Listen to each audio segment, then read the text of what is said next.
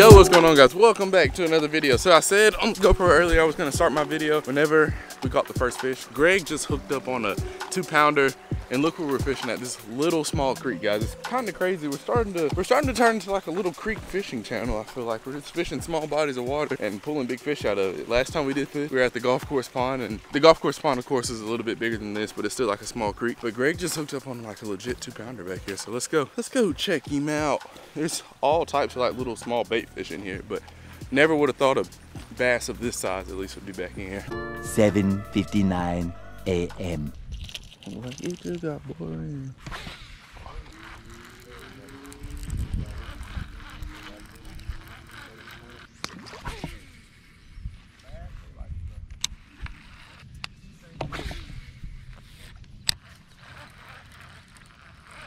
No, so nothing yet. How about you? One bass? Yes, sir. Yes, sir. I appreciate it. Appreciate the tip. Try not to.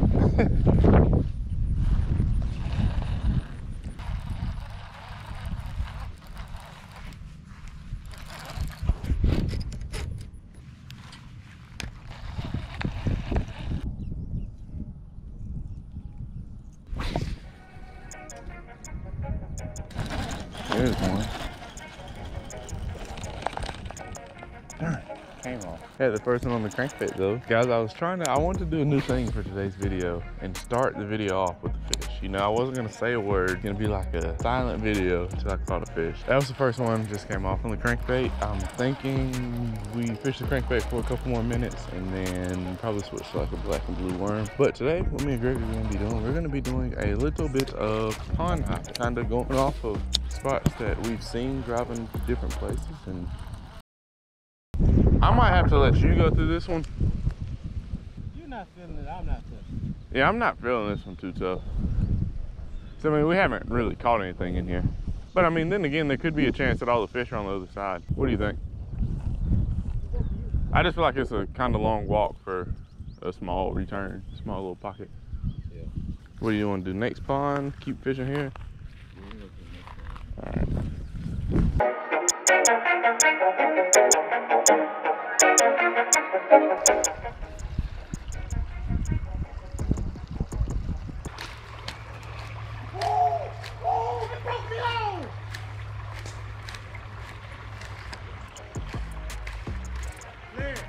Huh? Come over here. Come catch this bass. Is it big? Yes, How big? three pounds. It took my worm. Ooh, bro, that just gave me a whole heart attack. And I got it on film. You didn't hear me on? Bro, I'm pretty sure the people in the neighborhood heard you, bro. Go over here and see if it's I still I here first. another. Oh, I do. You got one. Where's it at? I don't know. It just came out of nowhere. I was gonna pull the worms out of the water and just seen it swim off with the worm in its mouth. I thought it broke me off with the worm. Over here in the shade? Yes, I was. I threw it out. It came. It, it ate right here, and it swam back up in there somewhere. It was like a legit three pound, maybe two. I really didn't see it. It was huge though. I was pulling it right here. It swam back over there somewhere. I was casting on it. There he is. Got him. Got him. Got him. Oh, it's not. That's a good one. Here, here, here. Go, just go over, raise it over here. Got him. That's a that's a decent bag. Dude, what the world, dude? Bro, how? What? How? That doesn't make no sense at all. What? Guys, I just caught a bass Dude, that's out of a three inch puddle. that's a two pounder. That's a two pound bass. What? I wish we had a puddle. To, I wish we had a bucket to take this. I in. thought you were about to say a puddle detector. no. I mean, if this is a creek, I don't know if this is gonna dry up, you know? I said we walk down. It's another little. I'm gonna go grab my camera if I can get this worm unstuck. Cast back in there and see if we double up. Yeah, so just. I don't know what I was doing. I just bounced it and it just came right over.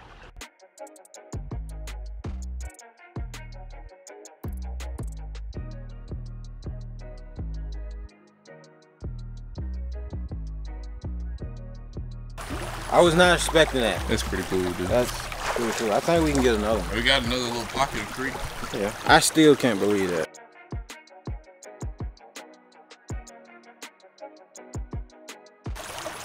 He doesn't want to keep his mouth closed. He's going right there. Are you walking on down? If you're going down, I'm gonna let you lead the way. It makes zero sense, John. I can hear the excitement in your voice, literally. Let me see it. Oh, snap. I mean, that's still That's a, is what you probably would expect to catch somebody. out here. yeah, out of here. I'm gonna get a little cash back in there. I know what I have to do. Oh, dude, Get that's- him, oh, oh my God, dude, that was a big one. That was a big one. No, you take, you take it. You, you oh, cast. broke you. Yeah, dude, that was that was a big one. Did you see it? I seen how you was running with it. Dude, that was that was like probably could have been like a I don't know. I've never. That's probably the hardest pull I felt this month. Even Do you have hooks? Huh? Yeah, that like that was like. I mean, bass wise, that was a big fish, no doubt. You wouldn't mind. I like to get up. Yeah, come on.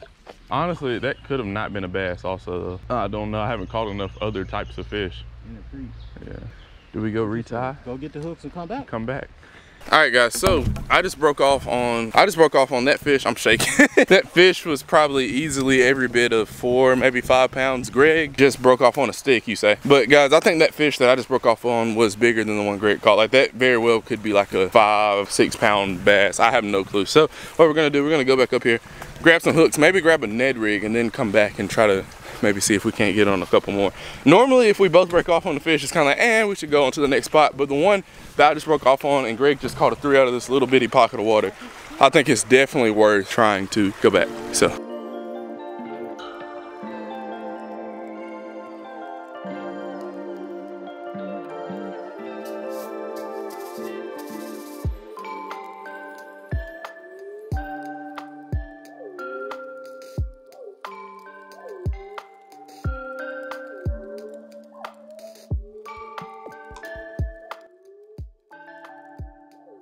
Want to fish down here and then go up there? Because I mean, there's fish in here. There very well could be fish over there too.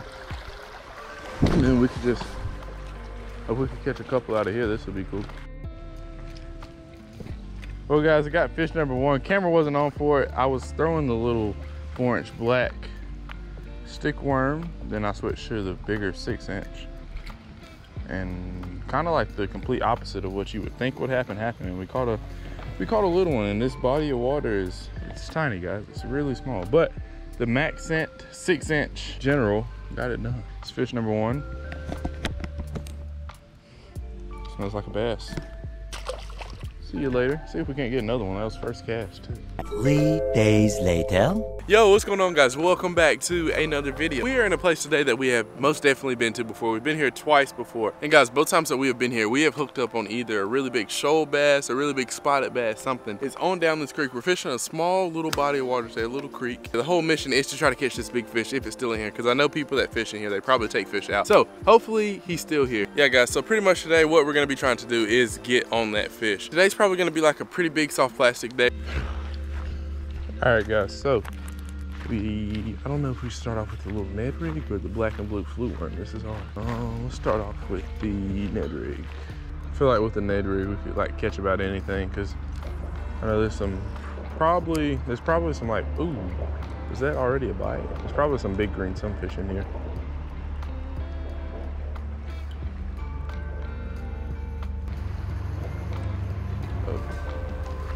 There's one. Oh, first cast, baby. First cast on the black. What? First cast on the black. Four inch general, baby. Let's go. This max scent general, guys. I'm telling you, first cast, baby. Doesn't get much better than that. Just wait until we get like the real Ned rig stuff in. Oh my goodness, it's gonna be over with for these fish. Look at that, first fish on the little Ned rig. We're really liable to catch like a hundred of these today on this Ned rig stuff. I'm gonna sit this down. I'm gonna show y'all him on the big camera. I love creek fish because they're just so they're so aggressive and pretty. All right, guys. Fish number one. He's a small one, but super pretty. I love these creek fish because they're always like just super like pretty lateral line, pretty colors on them every time. So now we're just trying to upgrade from him. We're trying to get. I think we should be content. We could be content like a two, three pounder out of here. I'm sure there's probably a lot more if we catch him on the first cast. So. All right. See you later. Mr. Thomas, look, he went straight down, went right back into the water. He was like, I didn't think I was gonna make it out of here today. All right, guys, a little side hack you can do with these. Like, really any worm, if it's long enough with the Ned rig, it's always gonna be long enough. But you see how the plastic just ripped all through here? What I do, just take it, put it in your mouth. This is max scent, so it's a little nasty. Don't put your tongue on it, but you just bite it off. Bite that little rip part off, slide it back on there.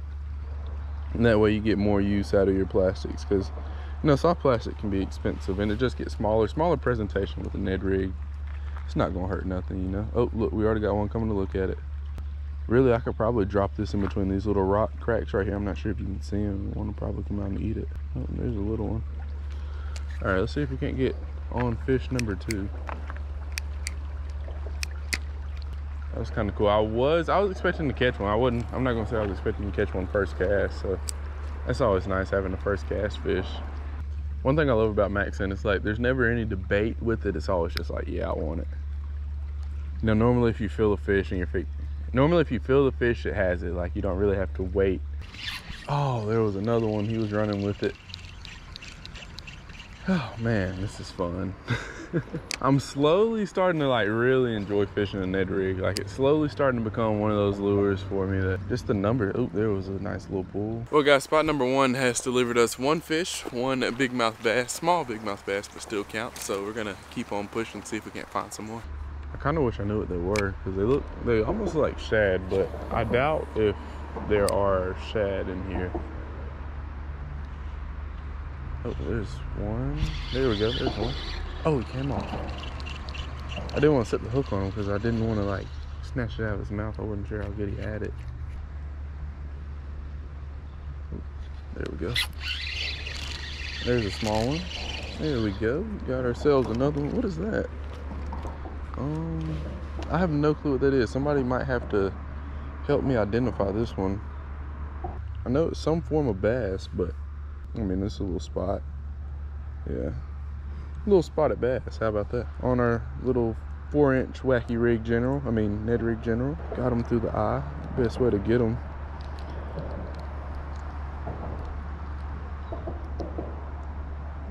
Sorry. All right, check that out. Little small, small little spotted bass. See you later. Have a good time. Oh, dude, this little thing is so cool.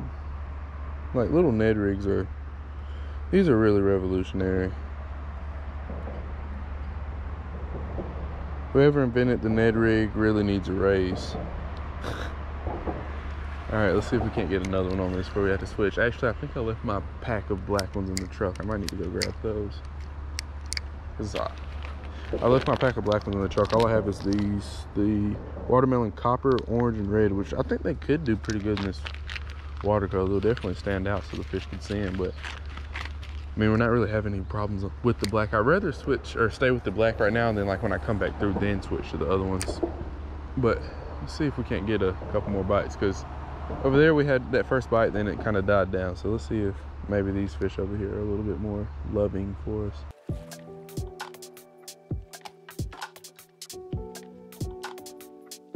Guys, I honestly think that this might be my favorite type of fishing. Even though it's not like really, really rural, I really like just being able to walk through the woods, missing tree limbs, stuff like that, and being able just to like walk and find a new fishing spot.